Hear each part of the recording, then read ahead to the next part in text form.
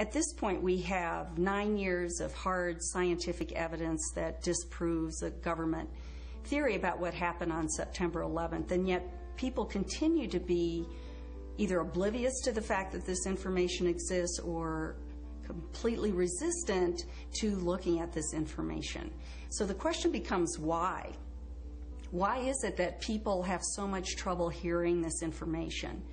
From my work, I think we would be remiss not to look at the impact of trauma. My name is Marty Hopper, and I'm a PhD clinical psychologist. I've been working and living for the past 30 years here in Boulder, Colorado.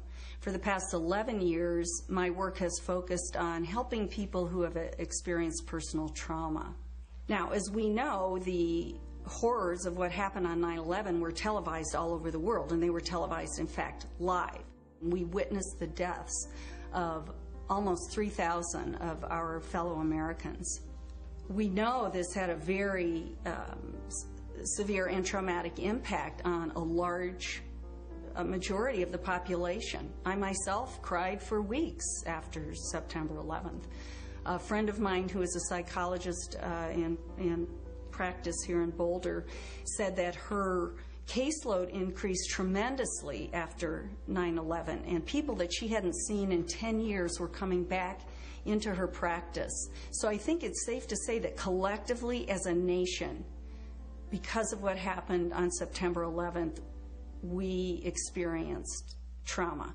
I'm Fran Shure, and I have a master's degree from the University of Colorado. I've had a private practice as a psychotherapist and as a licensed professional counselor for about 20 years. Why do people resist this information, the information that shows that the official story about 9 11 cannot be true? What I've learned is that as humans, each of us have a worldview, and that worldview is usually formed in great part by the culture we grow up in. When we hear information that contradicts our worldview, social psychologists call the result, the resulting insecurity, cognitive dissonance. For example, with 9/11, we have one cognition, which is what our official, what the official story of 9/11, what our government told us, what our media, media repeated to us over and over, that 19 Muslims attacked us. On the other hand, we have what scientists, researchers, architects, engineers are now beginning to tell us, which is that there is evidence that shows that the official story cannot be true. So now we've lost our sense of security. We are starting to feel vulnerable. Now we're confused. 9 11 truth challenges some of our most fundamental beliefs about our government and about our country. When your beliefs are challenged or when two beliefs are inconsistent, cognitive dissonance is created. 9 11 truth challenges the beliefs that our country protects us and keeps us safe and, and that America is the good guy. My name is Bob Hopper, and I have a PhD in clinical psychology from the University of Cincinnati. For the past 29 years, I've been a licensed PhD clinical psychologist in Boulder, Colorado. When your beliefs are challenged, fear and anxiety are created. In response to that, our psychological defenses kick in, and they protect us from, our, from these emotions. Denial, which is probably the most primitive psychological defense, is the one most likely to kick in uh, when our beliefs are challenged. I'm Danielle Duperret, PhD, originally from Switzerland, where I studied psychology and psychoanalysis. For the past 15 years, I've been empowering people who have experienced significant trauma. America is a powerful nation. It has never been attacked. We were confident, we, were, we felt secure, and all of a sudden that security collapsed people started to be fearful. With all those rumors, those news, people didn't know what to think about. And it's a very, very uncomfortable state to be in. And eventually, our mind shuts off. Just like when a computer is overloaded, our minds get overloaded. We can't handle it anymore and we shut down. It's easier to deny it and move on with our lives.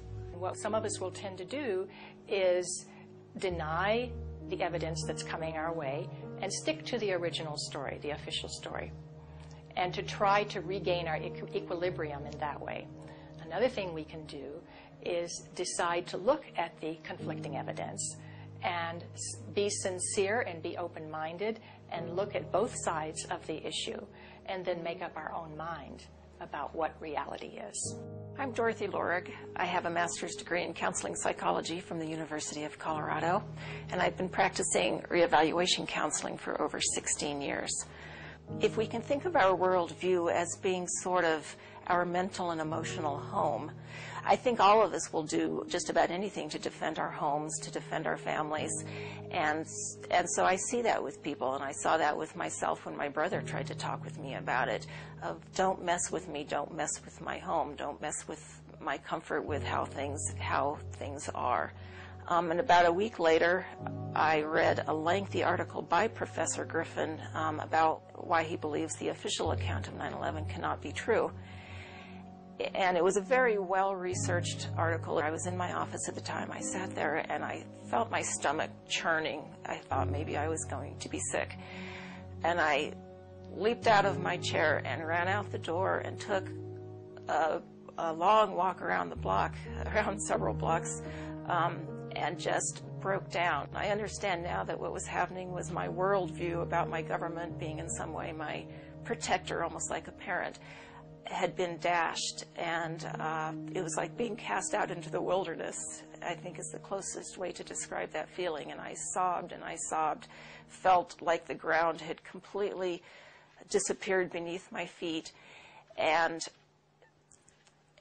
and I knew at some point during the walk that I knew that I was going to have to become active in educating other people about this, that there was that for me to retain any sense of integrity, I was going to have to take some action. I couldn't just let something like this go. Many people respond to these truths in a very deep way.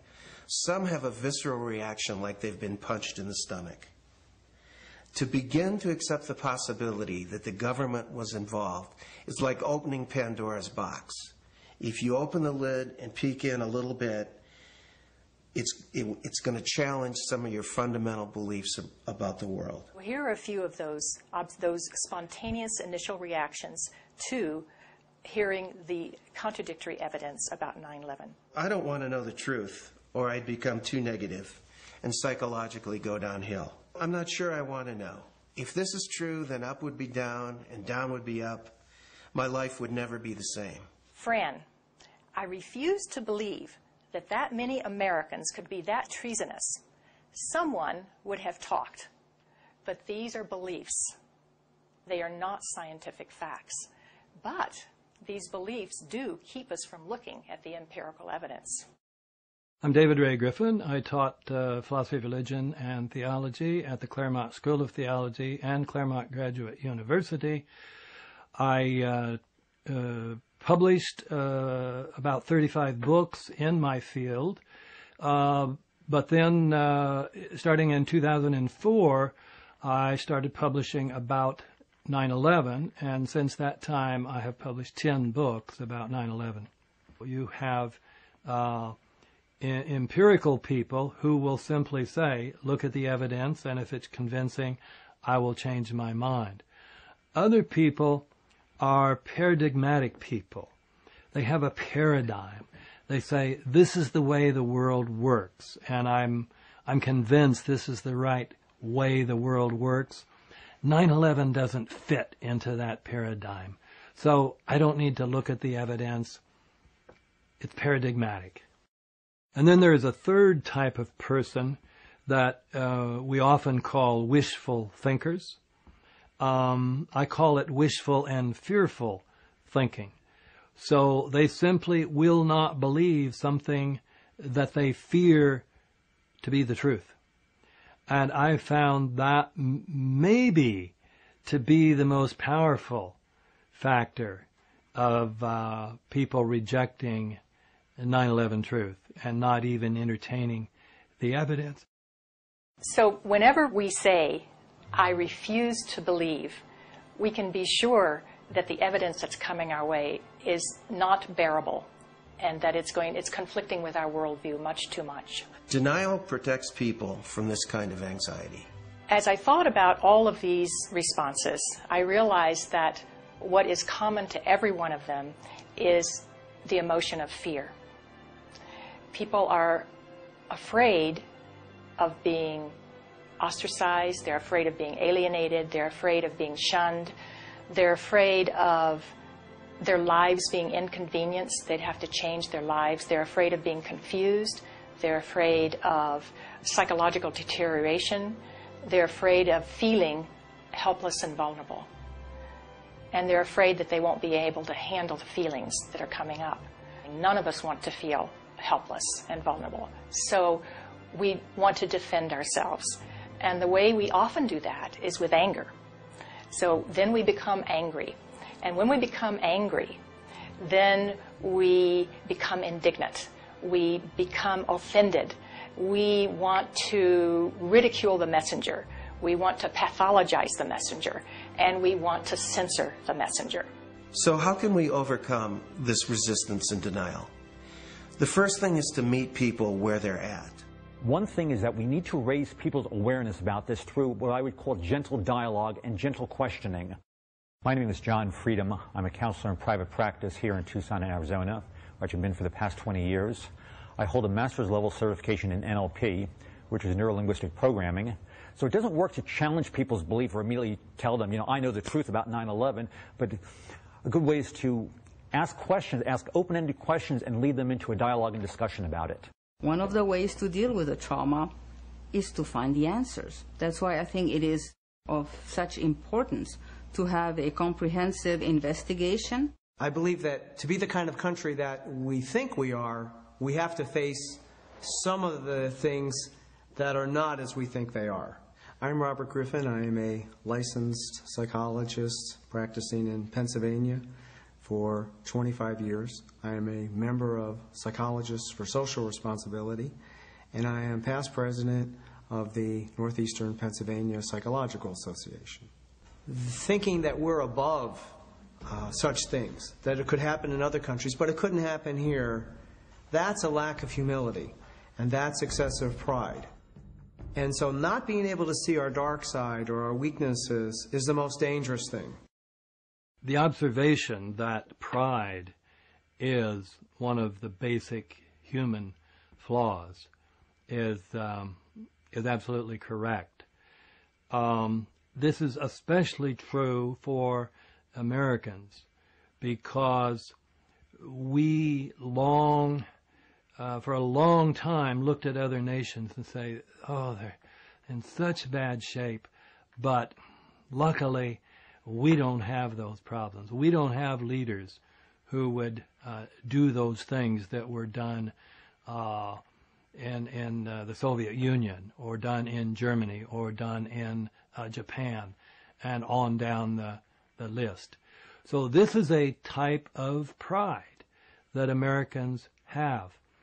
A feature of American history that makes us uh, particularly uh, liable to this pride is um, this notion that's, of, that's called exceptionalism, that America is the exceptional nation. And that uh, began from the beginning as, the, as this country was uh, formed. Uh, the people would say, well, there was so much evil in the European countries, so much uh, cheating, so much uh, lying, so much uh, using the people for the ruler's purposes, but not in America. We have leaders that are free from those sins. Um, so I think this has made um, 9/11 particularly difficult for Americans. Anyone can make mistakes, but our ideals and our principles get us back, you know, on track. This is one of the defining issues of our time. So we need to understand that questioning is, uh, is patriotic. Questioning is what we're supposed to do as citizens. That's our duty. When we come to the national level, uh, when something like 9 11 happens, we need to be sure that we have a real investigation into who the perpetrators are, and then we need to be sure that those perpetrators are held legally accountable It's part of the healing process on the individual level as on the collective level. We need the truth in order to heal. After 9 11, and people that she hadn't seen in 10 years were coming back into her practice. So I think it's safe to say that collectively as a nation, because of what happened on September 11th, we experienced trauma. I'm Fran Shure, and I have a master's degree from the University of Colorado. I've had a private practice as a psychotherapist and as a licensed professional counselor for about 20 years. At this point, we have nine years of hard scientific evidence that disproves a government theory about what happened on September 11th, and yet people continue to be either oblivious to the fact that this information exists or completely resistant to looking at this information. So the question becomes why? Why is it that people have so much trouble hearing this information? From my work, I think we would be remiss not to look at the impact of trauma. My name is Marty Hopper, and I'm a PhD clinical psychologist. I've been working and living for the past 30 years here in Boulder, Colorado.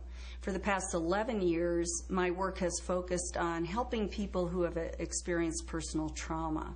Now, as we know, the horrors of what happened on 9 11 were televised all over the world, and they were televised, in fact, live. We witnessed the deaths of almost 3,000 of our fellow Americans. We know this had a very um, severe and traumatic impact on a large a majority of the population. I myself cried for weeks after September 11th. A friend of mine who is a psychologist uh, in practice here in Boulder said that her caseload increased tremendously. Why do people resist this information? The information that shows that the official story about 9 11 cannot be true. What I've learned is that as humans, each of us have a worldview, and that worldview is usually formed in great part by the culture we grow up in. When we hear information that contradicts our worldview, social psychologists call the result the resulting insecurity cognitive dissonance. For example,